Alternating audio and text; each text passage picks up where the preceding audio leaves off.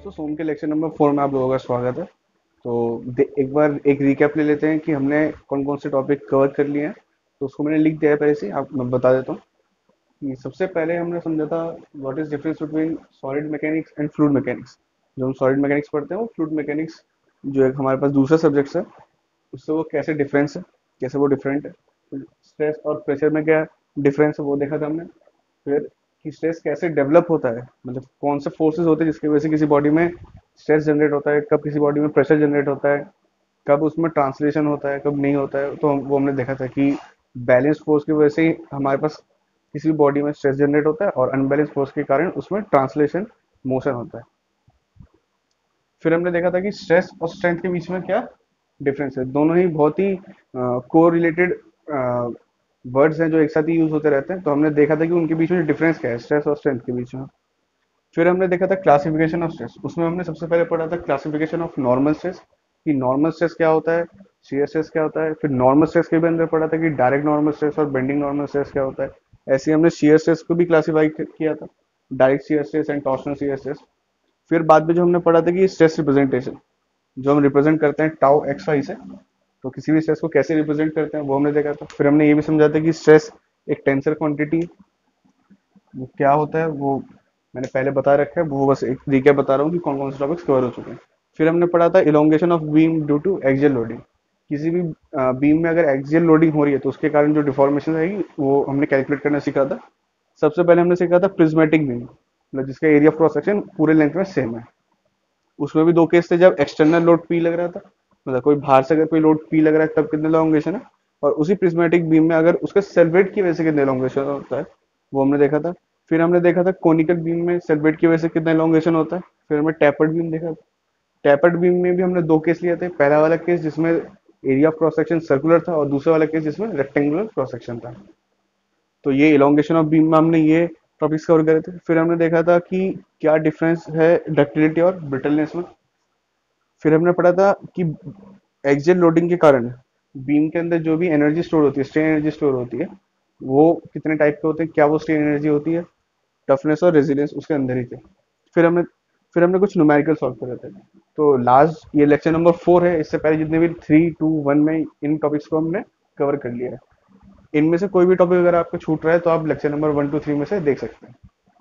Lecture number one ये topics को cover करता है। फिर यहाँ से लेके यहाँ तक।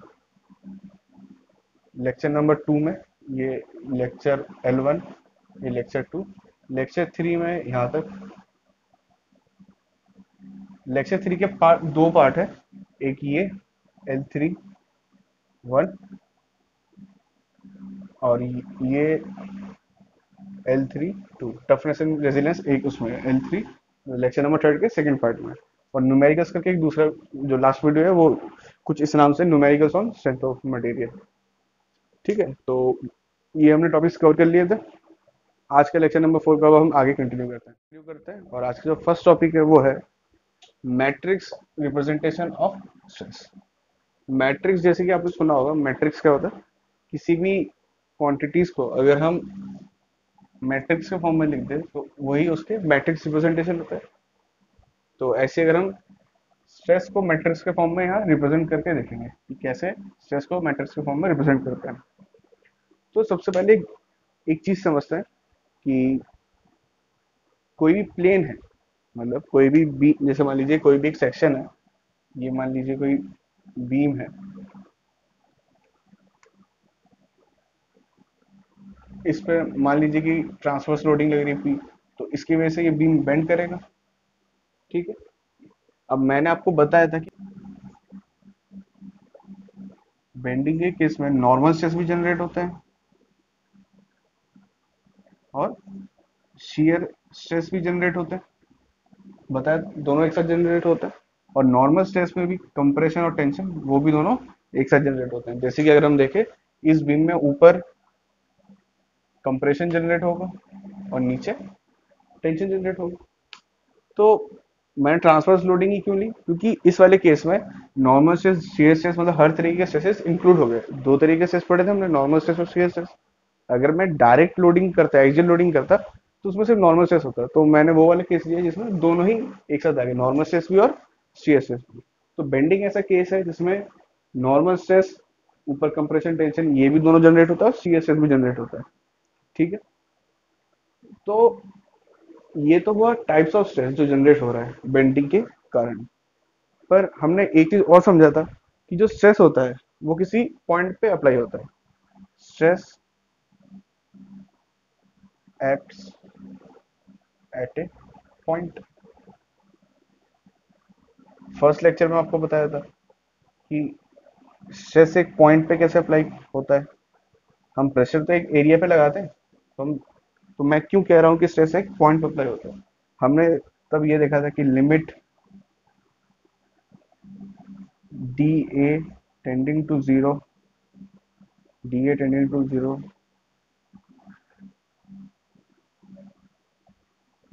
D P by D A इसी को हम स्ट्रेस बोलते हैं।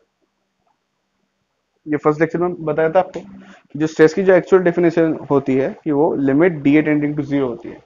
ये जो डी है, वो एक स्मॉल एरिया और वो भी टेंडिंग टू ज़ीरो है। इसका मतलब जो वो एरिया है, वो टेंड होकर एक पॉइंट को रिप्रेजेंट करता है वो। इस लिमिट का मतलब क्या है कि जो स्ट्रेस है, वो किसी पॉइंट पर अप्लाई हो रहा है। फ़र्स्ट लेक्चर में मैंने समझाया था इसे। अगर आपको इसमें थोड़ी कंफ्यूजन है तो उसमें मैंने डिटेल में समझा रखा है। आप उसको एक बार देख लीजिए। तो चलिए कंटिन्यू करते हैं कि जो स्ट्रेसेस जनरेट हुए चाहे वो नॉर्मल स्ट्रेस हो या सीरियस स्ट्रेस हो, ठीक है? वो सारे स्ट्रेसेस कहाँ पर अप्लाई हो रहा है? किसी ना किसी एक पॉइंट पे अप्लाई हो रहा है। ठीक, इतना तो समझ में आता है। मैंने एक जनरल लोडिंग ली पी ट्रांसवर्स लोडिंग ली, उसके वजह से बेंडिंग हुआ। अब बेंडिंग में नॉर्मल स्ट्रेस और सीरियस स्ट्रेस दोनों जनरेट हुए। हमें ये पता है कि स्ट्रेस तो किसी एक पॉइंट पे अप्लाई होता है। अब जो मैंने ये बीम कंसीडर करा था, ये इसका मान लीजिए क्रॉस सेक्शन है।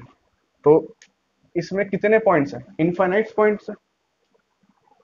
इसमें तो बहुत सारे पॉइंट्स हैं। ऊपर, नीचे, इधर इधर इनफाइनाइट पॉइंट्स हैं। ठीक है? और हमने ये देखा भी था कि जो जैसे बेंडिंग स्ट्रेस में नॉर्मल स्ट्रेस ऊपर मैक्सिमम होता है मिड पे जहाँ न्यूट्रल एक्सिस जिसे कहते हैं, वहाँ पर ज़ीरो होता है, ठीक है? तो ऐसी स्ट्रेस का वेरिएशन भी है पूरे सेक्शन में। तो मान लीजिए किसी भी एक पॉइंट को कंसिडर करते हैं। इन्फाइनाइट पॉइंट्स है उसमें से मैंने किसी पॉइंट को कंसिडर करा। मान लीजिए इस पॉइंट को कंसिडर करते हैं। तो इस वाले पॉइंट पे कितने स्ट्रेस मतलब कितने टाइप के स्ट्रेस लग रहे हैं? नॉर्मल स्ट्रेस भी जनरेट हो रहा है और सीयर स्ट्रेस भी जनरेट हो रहा है। तो इसका मतलब किसी भी एक पॉइंट पे, जैसे मान लीजिए ये जो पॉइंट है, इस पॉइंट पे कितने टाइप के स्ट्रेसेस जनरेट हो रहे हैं? नॉर्मल स्ट्रेस और सीयर स्ट्रेस तो अगर मैं इस सेक्शन को यहाँ ड्रॉ करूँ, ये जो मैंने यहाँ, या इसे ही मैं थोड़ा रब कर देता हूँ इसकी अब ज़रूरत नहीं है। ये हेडिंग भी इरेज कर देता हूँ ध्यान से देखते रहिए मान लीजिए ये वो प्लेन था, ठीक है? इसमें जो नॉर्मल स्ट्रेस जनरेट होगा, वो कुछ ऐसा, इसके परपेंडिकुलर होगा ना, ये एंगल 90 डिग्री ये नॉर्मल स्ट्रेस तो एक तो नॉर्मल स्ट्रेस जनरेट होगा और जो सी एस एस जो यहाँ लिखा है C S S normal stress तो ये रहा जो सी एस एस है, उनकी डायरेक्शन देखिए। एक हो सकता है इस डायरेक्शन में। ये भी अलोंग द प्लेन ही है, ठीक है? और दूसरा हो सकता है इस डायरेक्शन में, ठीक है? तो इसका मतलब किसी भी एक प्लेन पे कितने स्ट्रेसेस लग सकते हैं? एक नॉर्मल स्ट्रेस और दो शेयर स्ट्रेस इसका मतलब एक प्लेन पे, एक प्लेन पे एक नॉर्मल स्ट्रेस होगा और दो शेयर स्ट्रेस होगा. टोटल एक प्लेन पे कितने स्ट्रेस हो गए? तीन हो गए. एक नॉर्मल और दो शेयर अब इस पॉइंट को फिर से देखते हैं. ये जो पॉइंट था इस पॉइंट से पास होने वाले कितने प्लेन्स है? इसी पॉइंट को मैंने यहाँ ड्रॉ करा इस प्लेन से पास होने वाले इनफाइनाइट प्लेन्स है। ठीक? जैसे कि क्रॉस सेक्शन में कितने पॉइंट्स थे? इनफाइनाइट पॉइंट्स थे। ऐसे ही इस पॉइंट में कितने प्लेन पास हो सकते हैं? मतलब जो स्ट्रेसेस की डायरेक्शन होगी, ऐसे कितने डायरेक्शन हो सकते हैं? इनफाइनाइट डायरेक्शन हो सकते हैं। अब मुझे इनमें से कौन सा प्लेन चूज़ करना है? मतलब मैं जो डिज़ाइन करूँगा किसी भी मटेरियल को, उसमें से मैं कौन सी डायरेक्शन को चूज़ करूँ? वो डायरेक्शन चूज़ करो जिसमें मैक्सिमम लोडिंग लग रही है। ठीक? अगर आपको याद हो, मैं थोड़ा सा पीछे का बताता हूँ। मैंने फ़र्स्ट लेक्चर में कुछ ऐसा एग्ज़ाम्पल दिया होगा कि ये मान लीजिए सेल्फ वेट लग रहा है तो यहाँ ज़ीरो यहाँ हंड्रेड तो अगर इस मटेरियल को मुझे डिज़ाइन करना है, जो हंड्रेड के वेट ले सकता है तो मैं इस मटेरियल को यहाँ पर जो स्ट्रेस जनरेट होगा, उसके कारण ही तो डिज़ाइन करूँगा। मान लीजिए यहाँ पर बीच में कहीं 80 भी आ रहा होगा। अगर मैं 80 के लिए डिज़ाइन कर दूँगा तो इसके नीचे का मटेरियल तो सेफ़ हो जाएगा। क्यों? क्योंकि नीचे 80 से कम की लोडिंग है। पर लेकिन ऊपर का मटेरियल जिसमें 80 से अबव की लोडिंग है 90 100 वो फेल कर जाएगा। तो कौन सा सेक्शन चूज़ करना पड़ेगा? ये वाला? एकदम टॉप बोस वाला, जिसमें लोड सबसे मैक्सिमम लग रहा है। और इस प्लेन को भी अगर मैं ड्रॉ करूँ, जो ये वाला प्लेन था, उसमें मैंने बताया था, इसमें इनफाइनाइट पॉइंट्स है। ठीक है? अब इस इनफाइनाइट पॉइंट्स में से भी मैं कौन सा पॉइंट को चूज़ करूँगा, जिसमें सेस की वैल्यू ज़्यादा होगी? जैसे कि मान लीजिए ये ये वो प्लेन था, इसमें हमने, हमें पता है कि बेंडिंग स्ट्रेस की जो डिस्ट्रीब्यूशन है वो कुछ ऐसा है। तो मैं कौन सा पॉइंट को चूज़ करूँगा? या तो टॉप के पॉइंट्स या बॉटम के पॉइंट्स क्योंकि यहाँ पर जो स्ट्रेस की वैल्यू है वो ज़्यादा है। अब अब इसके आगे कंटिन्यू करते हैं। सिर्फ़ इस पॉइंट को चूज़ करने से भी कुछ नहीं होता है। इस पॉइंट में पास होने वाले कितने प्लेन्स है? वो भी इनफाइनाइट्स है। अब इस इनफाइनाइट में से भी कौन सा प्लेन चूज़ करना पड़ेगा? वो वाला प्लेन चूज़ करना पड़ेगा जिसमें जो स्ट्रेसेस की वैल्यू होगी वो मैक्सिमम होगी। अब ये कैसे पता करेंगे? अब इस प्लेन पे यहाँ तक तो इजी था। ये सिंपली दिख रहा था। ये तब भी वेरिएशन देख लिया। पर इसे कैसे फाइंड आउट करोगे कि एक पॉइंट पे इनफाइनाइट प्लेन्स ठीक है इनफाइनाइट प्लेन्स पास करते हैं। उसमें से मैक्सिमम कौन सा होगा? तो इसमें क्या करते हैं? इस इनफाइनाइट प्लेन्स में से हम किसी भी थ्री तीन प्लेन्स को चूज़ कर लेते हैं। ठीक है, ये एक बेसिक में वो बता रहा हूँ। आगे जब हम जो थर्ड चैप्टर है, जो प्रिंसिपल सेस्टेन है, वहाँ पर हम इसे डिटेल में पढ़ेंगे कि वहाँ पर जो चैप्टर है वो इसी चीज़ के ऊपर बेस्ड है कि इन्हें कैसे कैलकुलेट करेंगे, ठीक है? तो अभी बस रफ आइडिया ले लेते हैं। तो किसी भी पॉइंट पे जो इन्फाइनाइट प्लेन्स पास हो रहे हैं, इन सारे प्लेन्स पे मुझे हर प्लेन में स्ट्रेस की वैल्यू फाइंड आउट करनी पड़ेगी। और उसमें से जो मैक्सिमम होगा, उसके लिए तो आप मटेरियल को डिज़ाइन करोगे तो वो कैसे करेंगे?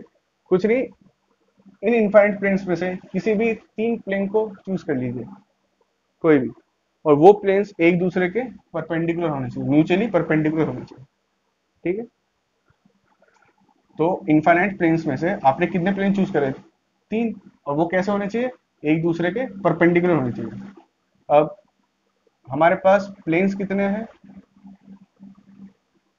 तीन।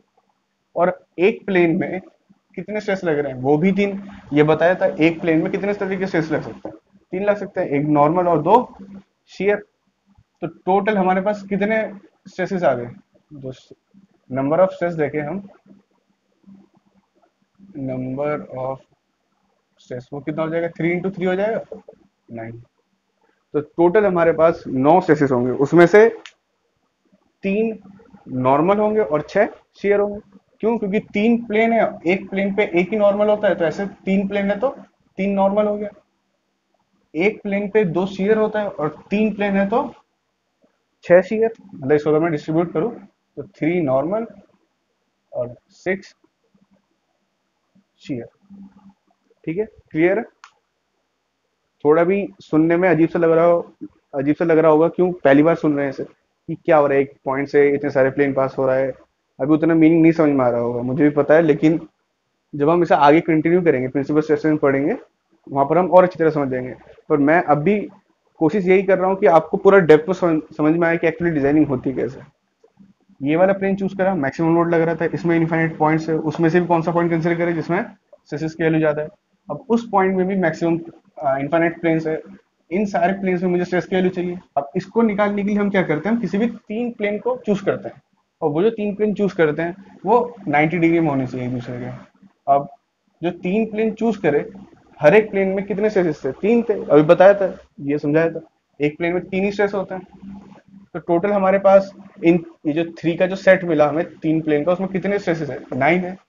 बस। इसी नौ को रिप्रेजेंट करते हैं मैट्रिक्स के फॉर्म में। जो हमारा हेडिंग था मैट्रिक्स रिप्रेजेंटेशन ऑफ़ स्ट्रेस वो यही था। इसी नौ स्ट्रेसेस को हमें रिप्रेजेंट करना होता है। तो इस नौ को कैसे रिप्रेजेंट करते हैं, वो हम देख लेंगे मैट्रिक्स में। ठीक है? ये जो तीन प्लेन जो तीन प्लेन हमने चूज़ करा है, वो मैंने यहाँ ड्रॉ कर दिया ये एक प्लेन ये एक प्लेन और एक सामने, ये ब्लैक बोर्ड जो है, ये वाला प्लेन समझ में आया आपको? ये वो था, एक प्लेन ये वाला हो गया, एक प्लेन ये, ठीक है, जो आपकी तरफ़ है, और एक ये ये वाला प्लेन तीन प्लेन हो गया, ठीक है?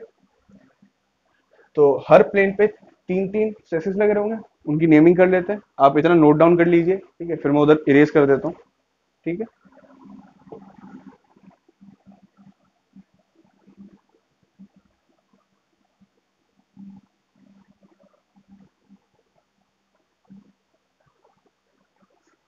अब ध्यान से देखिए अब ध्यान से देखिए पहले तो इस वाले प्लेन पे नॉर्मल स्ट्रेस इसका नाम बता सकते हैं? ये मैंने कार्टेशियन ड्रॉ कर दिया X Y Z coordinates draw कर दिए। तो इसका नाम हो जाएगा टाउ एक्स एक्स ठीक? ऐसे ही इस डायरेक्शन में जो, इस डायरेक्शन में जो स्ट्रेस लग रहा है, उसका नाम होगा टाउ एक्स वाई इजिली आप इसकी नेमिंग कर सकते हैं। मैंने पहले बता दिया था स्ट्रेस रिप्रेजेंटेशन जो हमने टॉपिक पढ़ा था लेक्चर नंबर शायद सेकंड में पढ़ा था, वहाँ पर मैंने कवर करा था। और तीसरा, ये। इसका नाम क्या होगा? टाउ एक्स जेड ठीक है? तो ये एक प्लेन में तीन स्ट्रेसेस आ गए। एक नॉर्मल दो शेयर ये नॉर्मल था और ये दो शेयर ऐसे ही यहाँ पर अगर हम देखें जल्दी से तो टाउ वाई वाई ये क्या हो जाएगा? टाउ वाई एक्स ऐसे ये टाउ वाई जेड ठीक है? ऐसे करके हर प्लेन पे लिख लेंगे, ठीक है? मैं सारे नहीं लिख रहा, वरना समझने में थोड़ी दिक्कत होगी। तो अब इसी को रिप्रेजेंट करते हैं। कैसे करते हैं? मैं डायरेक्ट वो लिख देता हूँ। ये मैं रब कर रहा हूँ।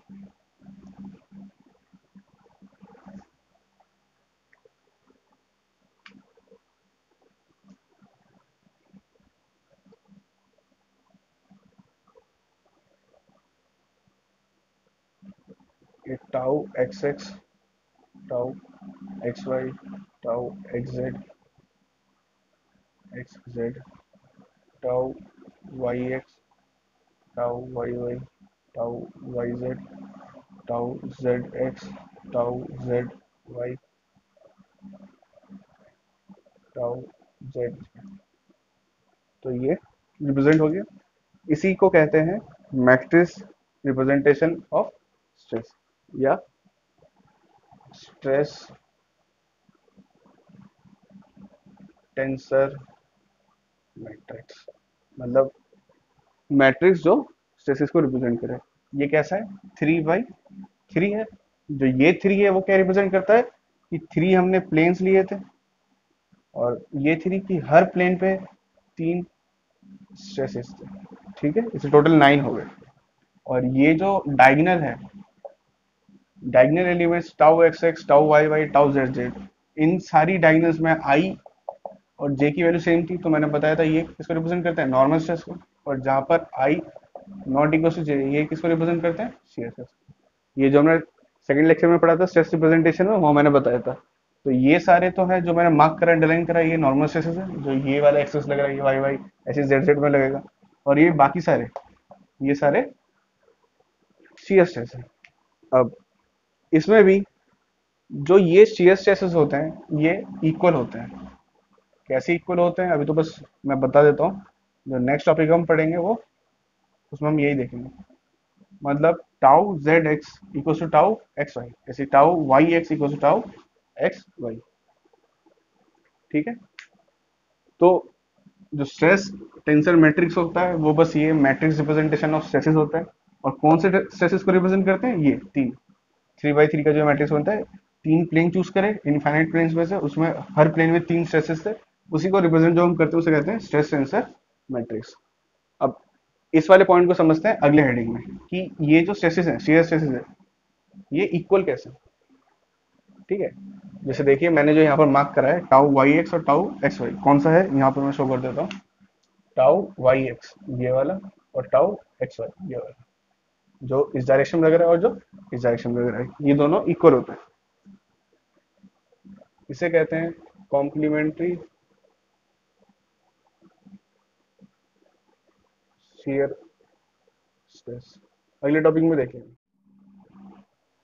तो अभी जो हमने देखा था कि मैट्रिक्स रिप्रेजेंटेशन में जो ये जो स्ट्रेस होते हैं कॉम्प्लीमेंट्री स्ट्रेस वो इक्वल होता है, वो मैंने बताया था, अब उसे हम प्रूफ करके देखते हैं।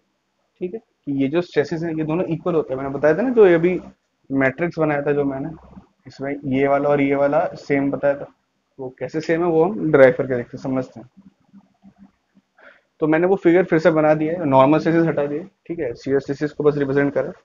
तो ये डेल्टा एक्स ये डेल्टा जेड और ये डेल्टा वाई यहाँ, इस, ये जो सी स्ट्रेस लग रहा है वो टाउ वाई एक्स और ये टाउ एक्स वाई ऐसे ये टाउ एक्स और ये tau Y X Z direction में भी सी एस एस मैंने हटा दिया। वो किस डायरेक्शन में होगा? वो ऐसे, फिर ऐसे फिर ऐसे। ठीक है? ऐसे वो भी इक्वल होगा। वो उस डायरेक्शन में अगर हम बना ले, ठीक है? उसे घुमा के अगर उस डायरेक्शन में हम बना ले तो वो भी इक्वल होगी। तो ये देख लेते हैं कैसे इक्वल है। तो सबसे पहले जो ये सी एस स्ट्रेस लग रहा है, इस प्लेन पे कितना फोर्स लग रहा है, वो निकाल लें अगर हम। तो अगर मैं F1 निकालूं कि ये जो प्लेन है, ये वो ब्लॉक है, इसमें जो ये वाला शेयर स्ट्रेस लग रहा है, वो कुछ ऐसा लग रहा है? तो स्ट्रेस का डायरेक्शन शेयर स्ट्रेस का डायरेक्शन ऐसे मैं चाहता हूँ इसमें फोर्स कितना लग रहा है, वो निकल जाए शेयर फोर्स F1 तो F1 क्या होगा? स्ट्रेस इनटू एरिया अगर मैं कर दूँगा तो फोर्स आ जाएगा।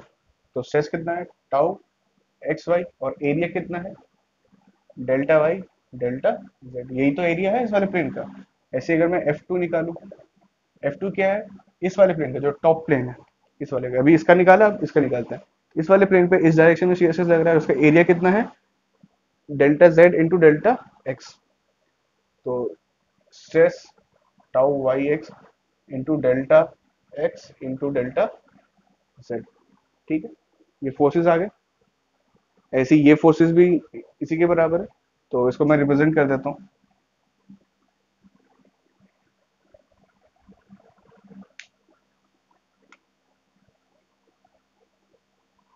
इसका प्लेनर डायग्राम बना लेते हैं। इस डायरेक्शन में मतलब ये जो प्लेन था थ्री में था, इस प्लेन को मैंने एक लाइन से रिप्रेजेंट करा है।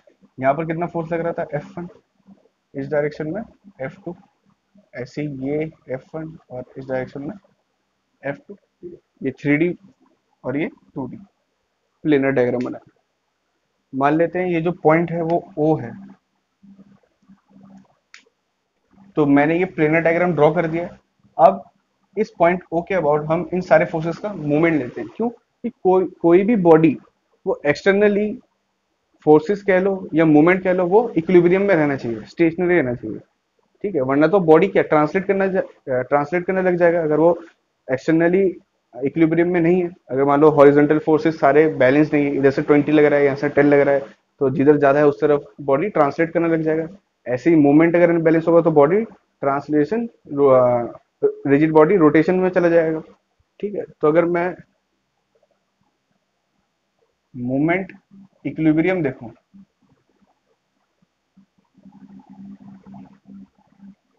about point O O point के अबाउट आप इस पॉइंट के अबाउट इस पॉइंट के अबाउट इस पॉइंट के अबाउट किसी भी पॉइंट के अबाउट मूवमेंट निकाल सकते हैं। अच्छा मैं इनको रिप्रेजेंट करता हूँ कि इस दो प्लेन के बीच में डिस्टेंस कितना था? ये डेल्टा एक्स था। डेल्टा एक्स और इन दो प्लेन के बीच में जो डिस्टेंस था वो?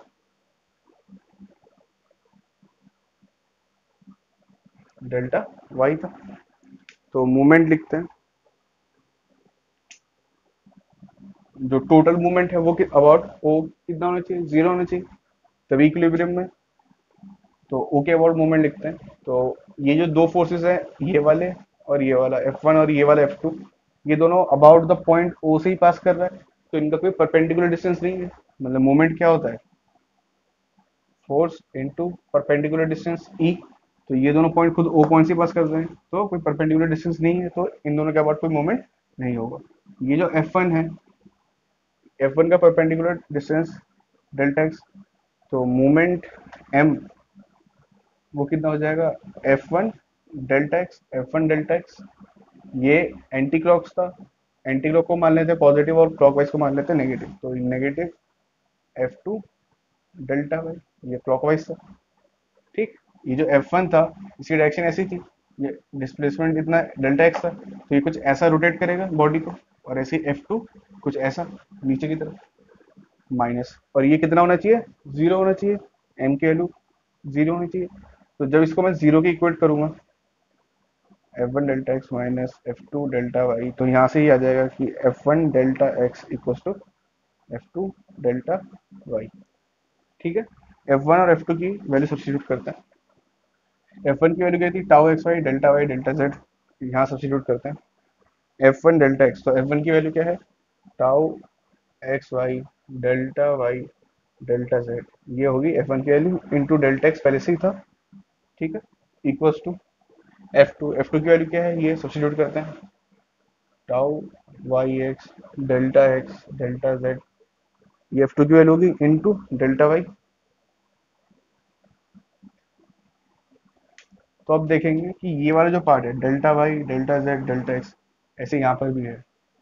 Delta Y delta Z delta X तो ये पूरा पार्ट कैंसिल आउट हो जाएगा तो बचेगा क्या? Tau X Y equals to tau Y X ठीक है? तो यहाँ से हमें क्या पता लगा कि जो कॉम्प्लीमेंट्री शेयर स्ट्रेस होंगे तो मतलब अगर इस इस प्लेन पे इस डायरेक्शन में शेयर स्ट्रेस लग रहा है तो ऑटोमेटिकली इसको बैलेंस करने के लिए इस प्लेन पे इस डायरेक्शन पे लगेगा, ठीक है? तभी ये बॉडी बैलेंस में रहेगा इक्विलिब्रियम में रहेगा। मान लेते कि इस डायरेक्शन में, इस वाले प्लेन पे बॉडी पे इस डायरेक्शन में शेयर स्ट्रेस लग रहा है तो ऑटोमेटिकली इस वाले प्लेन पे जो बॉडी पे शेयर स्ट्रेस लगेगा, वो कुछ इस डायरेक्शन में लगेगा, ताकि बॉडी इक्विलिब्रियम में रहे, ठीक है? इस पूरे डेरिवेशन को हमने डिराइव करने के लिए कि ये पॉइंट ये दोनों इक्वल है, इसके लिए हम क्या यूज़ करें? मूवमेंट इक्विलिब्रियम इक्वेशन ठीक है? मूवमेंट को हमने बैलेंस करा चलिए, एक पॉइंट और देख लेते हैं। आप इसे नोट डाउन कर लीजिए। मान लीजिए कोई बॉडी में जो शेयर स्ट्रेसेस लग रहे हैं, वो कुछ इस तरह से है। अच्छा मान लीजिए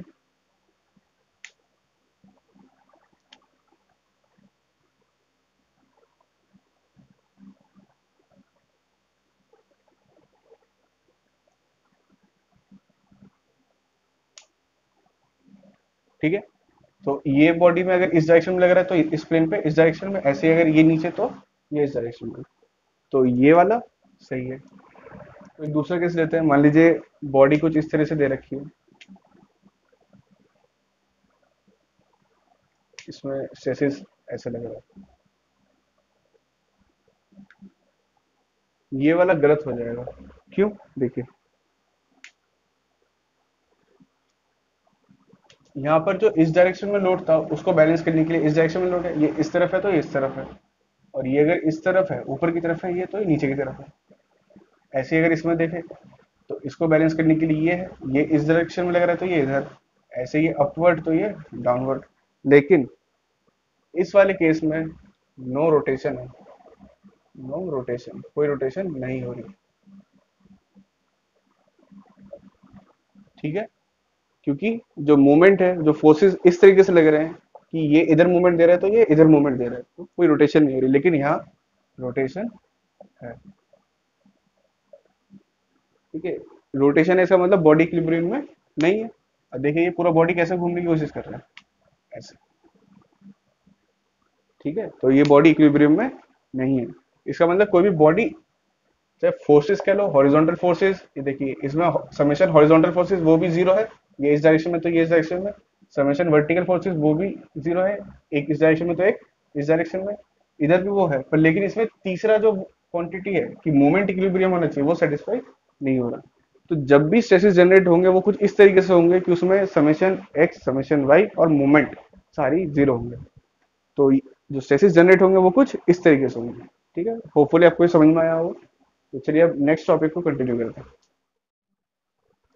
तो अब जो नेक्स्ट टॉपिक है नेक्स्ट टॉपिक तो नहीं कहूँगा। ये एक बेसिक जब भी हम सेंथो मटेरियल में सेंथो मटेरियल में किसी भी बॉडी या किसी भी स्ट्रक्चर की एनालिसिस करते हैं तो हम उसमें कुछ एजम्पन लेते हैं। जैसे कोई भी हम जब एनालिसिस करते हैं, किसी चीज़ में, जैसे हमने ट्वेल्थ क्लास में पढ़ा हुआ कुछ एजम्पन्स होते हैं, ऐसे सो में कुछ एजम्पन्स है। तो उन्हीं एजम्पन को समझते हैं कि कौन कौन से वो एजम्पन्स है। तो पहला जो एजम्पन है, वो है कि all materials are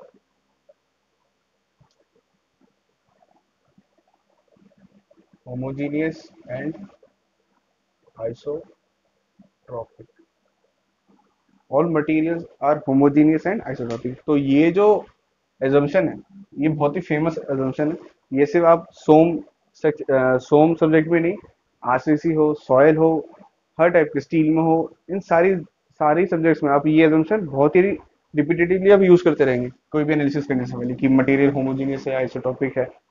तो हम यूज़ तो कर लेते हैं, लेकिन इसका फ़िज़िकल सिग्निफिकेंस हमें समझ में नहीं आता कि होमोजीनियस मटेरियल क्या होता है आइसोटॉपिक मटेरियल क्या होता है। तो उसी को हम इस टॉपिक में देखते हैं। तो देखिए, जो होमोजीनियस मटेरियल है, अगर उसको डेफिनेशन वाइज देखें तो वो आपको मिल जाएगा। लेकिन डायग्रामेटिकली देखते हैं कि होमोजीनियस और आइसोट्रोपिक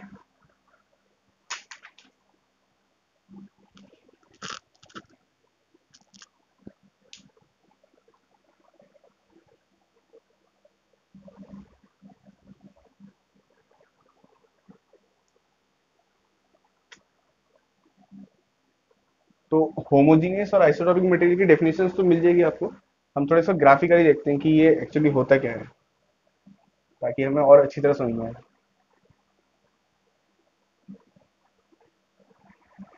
ये मैंने तीन मटेरियल ले लिए, तीन बॉडी एज्यूम कर लिए। तो सबसे पहला वाला है होमोजीनियस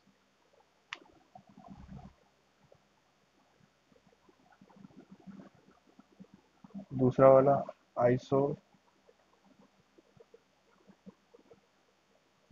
और ये दोनों होमोजीनियस एंड आइसोट्रॉपिक जो हमारा एजम्पशन है। तो ये आपने सुना होगा आइसोट्रॉपिक ट्वेल्थ क्लास में isotropic material anisotropic material twelfth class में जब हम केमिस्ट्री पढ़ते हैं तो उसमें क्रिस्टोलो क्रिस्टोलोग्राफी चैप्टर पढ़ते हैं। एन आइसोट्रॉपिक मटेरियल होता है आइसोट्रॉपिक मटेरियल होता है। तो पता तो होगा मेरे हिसाब से, लेकिन जो हम यहाँ सीखेंगे, आपको एक क्रिस्टल क्लियर एक इमेज बता देगा कि इस टॉपिक के ऊपर कि ये एक्चुअली मटेरियल होता कैसा है? आप भूलेंगे नहीं।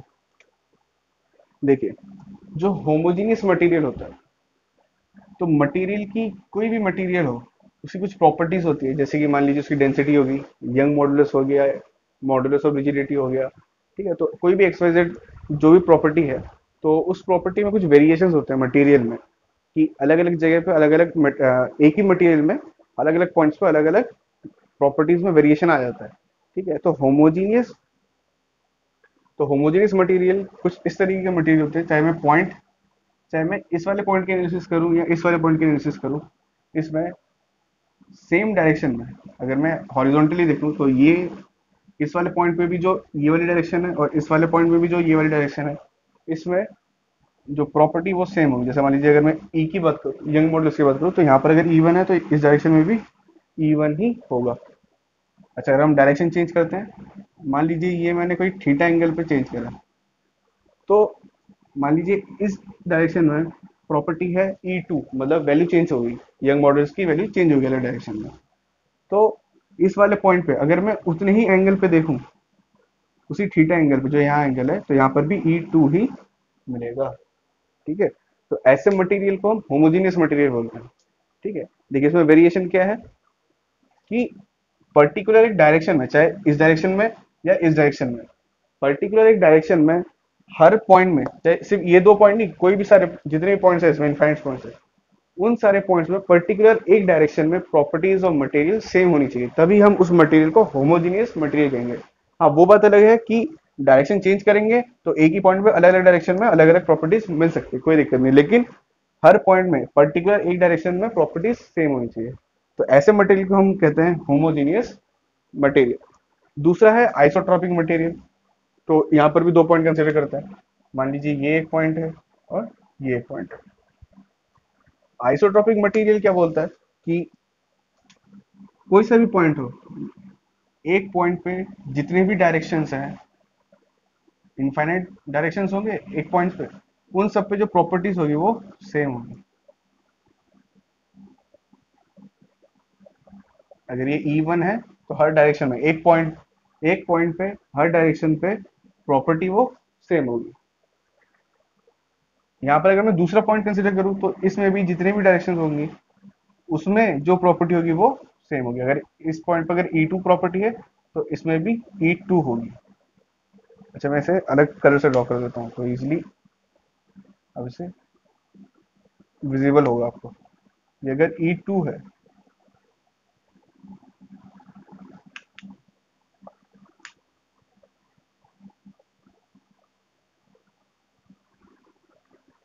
ठीक है? देखिए आइसोट्रॉपिक मटेरियल में, देखिए आइसोट्रॉपिक मटेरियल में किसी भी पॉइंट में जितने भी डायरेक्शंस है, उसमें प्रॉपर्टीज़ ऑफ़ मटेरियल सेम होगी। इसका मतलब चेंज किसमें हो रहा है? अगर हम पॉइंट को चेंज करें मतलब अगर पॉइंट चेंज कर रहे हैं तो प्रॉपर्टीज़ ऑफ़ मटेरियल बदल सकती है। पर लेकिन अगर हम एक इंडिविजुअल पॉइंट की बात करें, उस पॉइंट से हर डायरेक्शन में प्रॉपर्टीज़ सेम होनी चाहिए। जैसे कि इसको अगर इससे कंपेयर करें, इसमें क्या था? एक पॉइंट पे अलग अलग डायरेक्शन में अलग हो सकती थी, पर यहाँ पर ये पॉसिबल नहीं है। एक पॉइंट पर अलग अलग डायरेक्शन में सेम होना चाहिए। यहाँ पर ये अलग अलग हो सकता था। पर पर्टिकुलर एक डायरेक्शन में सेम होना चाहिए, पर यहाँ पर नहीं है। इस डायरेक्शन में ईवन है तो यहाँ पर क्या ईवन है? नहीं ई टू हो सकता है। तो ऐसे मटेरियल को हम आइसोटॉपिक मटेरियल कहेंगे। मतलब ऐसे मटेरियल जिसमें किसी एक पॉइंट पे हर डायरेक्शन में प्रॉपर्टी सेम है तो उसे हम आइसोट्रॉपिक मटेरियल कहेंगे। तो जो तीसरा मटेरियल होमोजीनियस एंड आइसोट्रॉपिक है, अगर हम इन दोनों को कंबाइन कर दे तो ये बनेगा। देखिए, इसमें वेरिएशन क्या था? डायरेक्शन में अलग अलग डायरेक्शन में प्रॉपर्टी चेंज हो रही थी। इसमें वेरिएशन क्या था? पॉइंट्स में। कि अलग अलग पॉइंट को अगर कंसिडर करें तो चेंज हो सकती है। तो इन दोनों को अगर हम क्लब कर दें तो कुछ मटेरियल ऐसा रहेगा।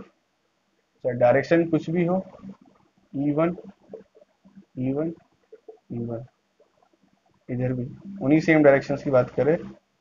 तो यहाँ पर भी E one E one E one तो देखिए होमोजीनियस का तो ये ले लिया कि हर अच्छा ये थोड़ा सा ऐसा बना देता हूँ। मतलब हर इंडिविजुअल हर इंडिविजुअल डायरेक्शन में, हर पर्टिकुलर डायरेक्शन में तो सेम है। तो होमोजीनियस का तो ये वाला प्रॉपर्टी ले लिया। और आइसोटॉपिक क्या क्या? कि हर एक मटेरियल पे, हर डायरेक्शन में सेम है। ठीक है? तो होमोजीनियस और आइसोटॉपिक क्लब करके तो ऐसे मटेरियल को हम सोम में यूज़ करते हैं, कि जिसमें हर पॉइंट में, हर डायरेक्शन में जो प्रॉपर्टीज़ है वो सेम है, ठीक है? जैसे अगर डेंसिटी यूज़ करते हैं यंग मॉडल्स यूज़ करते हैं तो वो हर पॉइंट पे, हर डायरेक्शन में सेम है। होमोजीनियस में क्या था? कि अलग अलग पॉइंट्स में अलग अलग वैल्यूज़ अलग अलग पॉइंट्स में एक पर्टिकुलर डायरेक्शन में सेम होना चाहिए, पर अलग अलग डायरेक्शन में सेम नहीं भी हो तो चलेगा।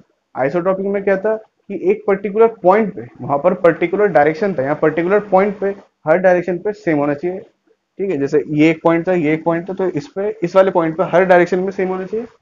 इसमें पर्टिकुलर डायरेक्शन में हर पॉइंट में सेम होना चाहिए। ठीक है? अब इस डायग्राम को आराम से देखिएगा, आपको डिफरेंस समझ में आ जाएगा। हो सकता है जब मैं बोल रहा हूँ कभी कभी मैं पॉइंट ये, वो, बहुत सारी चीज़ें एक साथ बोल रहा हूँ तो हो सकता है समझ में ना आए। पर आप इस डायग्राम्स को आराम से बैठ के कंपेयर कीजिएगा तो आपको डिफरेंस समझ में आ जाएगा। चलिए, ये तो अजम्पशन नंबर फ़र्स्ट था कि पहला जो अजम्पशन हम यूज़ करते हैं, अब दूसरे अजम्पशन की तरफ़ चलते हैं। तो जो नेक्स्ट अजम्पशन है, वो ये है कि effect of true stress and true strain is neglected इसका मतलब क्या है? स्ट्रेस और स्ट्रेन तो हमने समझा था, लेकिन ट्रू ट्रू स्ट्रेस क्या है और ट्रू स्ट्रेन क्या है, ये देखते हैं। देखिए, मान लीजिए कोई मटेरियल है, ठीक है? इसमें कुछ लोड लगा है पी इनिशियली इसका लेंथ इनिशियल लेंथ था एल और जो एरिया ऑफ़ क्रॉस सेक्शन था, वो ए था। ठीक है? ये कब की बात है? Time T equals to zero अब कुछ देर बाद क्या होगा? इस बॉडी में कुछ इलोंगेशन आएँगे। ये बॉडी कुछ इस तरह इलोंगेट हुआ। तो ये लेंथ यहाँ तक तो एल था और जो चेंज हुआ वो डेल्टा एल इस लोड की वजह से इसमें इलोंगेशन हुआ डेल्टा एल चेंज हुआ। ये कब था? कुछ देर बाद। Time T equals to T अब हो क्या रहा है कि मान लीजिए, आप, ये बहुत प्रैक्टिकल है और कॉन्सेप्चुअल है इजीली समझ भी सकते हैं इसे। मान लीजिए ये जो मटेरियल है, इसमें मैंने लोड लगाया, ठीक है? तो होगा क्या? लोड लगाने की वजह से इस एक्सिस में लॉन्गिट्यूडनल एक्सिस में तो इसका इलोंगेशन होगा। पर लेकिन ये जो एक्सिस है, इसका जो क्रॉस सेक्शन था, इसमें क्या होगा? क्रॉस सेक्शन इंक्रीज करेगा या डिक्रीज करेगा? अगर मैं इसे खींच रहा हूँ तो क्रॉस सेक्शन इंक्रीज करेगा या डिक्रीज करेगा? डिक्रीज करेगा, बिल्कुल। अगर मैं इसे खींच रहा हूँ तो यहाँ जो एरिया है, इसका डिक्रीज कर जाएगा। तो अब जो एरिया है, वो ए डैश और ये जो ए डैश है, वो लेस देन ओरिजिनल ए से कम है। ठीक है? ये बहुत प्रैक्टिकली समझ सकते हैं। पर लेकिन, अगर मैं स्ट्रेस को रिप्रेजेंट करूँ सिग्मा उसको हम पी बाई ए ही कहते हैं। कहने का मतलब ये है कि जो ये ए है, वो original area of cross sectional he use करते हैं।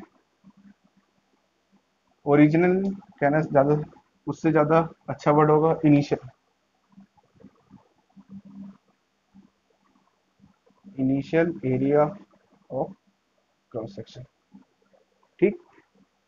पर एक्चुअली स्ट्रेस जनरेट कितना हो रहा था? वो हो रहा था पी बाई ए डैश ठीक है? क्योंकि अब जो एरिया है वो रिड्यूस होकर कितना हो गया ए डैश हो गया पर हम लिखते कितना है? पी बाई ए ओरिजिनल जो पहले इनिशियल एरिया था, उसी से हम स्ट्रेस निकालते हैं। पर जो एक्चुअल एरिया जो हो जाता है, वो कितना हो जाता है? ए डैश जो ए से कम होता है।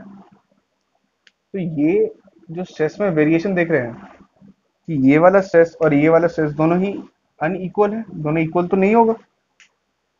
और इसमें से भी कौन सा बड़ा होगा? अच्छा ये सिग्मा है। इस सिग्मा को कहते हैं, इस सिग्मा को कहते हैं इंजीनियरिंग स्ट्रेस। तो sigma E N G G dot इसे कहते हैं sigma engineering engineering stress P by और इसे कहते हैं ट्रू स्ट्रेस। ठीक है, ट्रू स्ट्रेस क्यों? क्योंकि जो एरिया हमने ए डेस यूज़ करा, ये बाद में एक्चुअली इतना ही था, इसलिए हम ट्रू कहते हैं। और इंजीनियरिंग की ये जो हम सोम पढ़ रहे हैं, इंजीनियरिंग जो हम सब्जेक्ट पढ़ रहे हैं, इसमें हम इसको यही कंसिडर करके चले। ठीक है? तो इन दोनों से हम इजिली ये देख सकते हैं कि जो सिग्मा ट्रू है, उसकी वैल्यू सिग्मा इंजीनियरिंग से ज़्यादा है। ये आप याद रखिएगा। कभी कभी ये पूछ लेते हैं। ठीक है? क्यों? ये ज़्यादा क्यों है? क्योंकि जो डिनोमिनेटर है, ऊपर तो लोड सेम है, लेकिन जो डिनोमिनेटर है, वो ए डैश ट्रू के केस में कम है। ए डैश कम था ना ऐसे तो जो वैल्यू सिग्मा ट्रू की आई वो ज़्यादा है तो इस इफ़ेक्ट को हम निग्लेक्ट कर देते हैं। हम इन दोनों को सेम ही मान लेते हैं। तो वेरिएशन था, उसको हमने सेम मान लिया। तो कुछ तो गड़बड़ हो जाएगी जो हम कैलकुलेशन करेंगे, ठीक है? तो हम देखते हैं कि कितने वेरिएशन को हमने निग्लेक्ट कर दिया। देखिए, अगर मैं 19.99 को 20 लिख दूँ तो क्या बहुत बड़ा मैंने मतलब जो कैलकुलेशन में वेरिएशन आएगा, उसमें क्या बहुत ज़्यादा डिफरेंस आ जाएगा क्या? नहीं, थोड़ा बहुत ही डिफरेंस आएगा। क्योंकि कितने का वेरिएशन मैंने मतलब कितने का एरर मैंने इंक्लूड करा ज़ीरो पॉइंट ज़ीरो वन ठीक? तो उतना वेरिएशन हम, जो हम फैक्टर ऑफ़ सेफ्टी देते हैं, उसमें हम उसको कॉम्प्रोमाइज कर लेंगे उसे, ठीक है? तो अब देखते हैं कि ये वेरिएशन एक्चुअली कितना होता है। तो मैं इसको रब कर देता हूँ, इस वाले पोर्शन को आप इसे लिख लीजिए। Sigma engineering P by A होता है sigma true P by A dash होता है। ए डैश क्या था? बाद में जो एरिया बना इलांगेट होने के बाद, ठीक है? तो अगर हम स्टेस्टन कर्व भी देखें तो जो हम पढ़ते हैं, वो कौन सा है और जो एक्चुअली होता है, वो कौन सा है? ये इस डायरेक्शन में स्ट्रेस और इस डायरेक्शन में स्ट्रेन तो मैं स्टेस्टेन स्ट्रेस स्ट्रेन कब ड्रॉ करूँ। तो ये वो स्ट्रेस कर्व था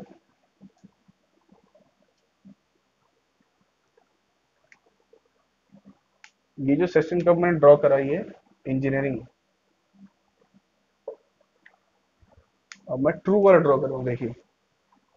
दो मिनट, इसको थोड़ा और यहाँ पर थोड़ा सा ये ऊपर जाएगा।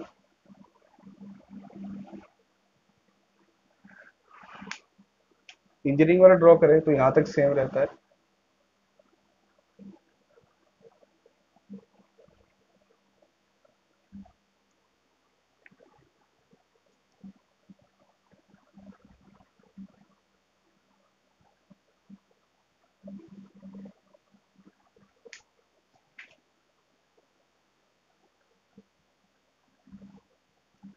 तो अगर हम इंजीनियरिंग वाला कर्व ड्रॉ करें वो ये है और जो ट्रू सेस की वजह से जो कर्व आएगा वो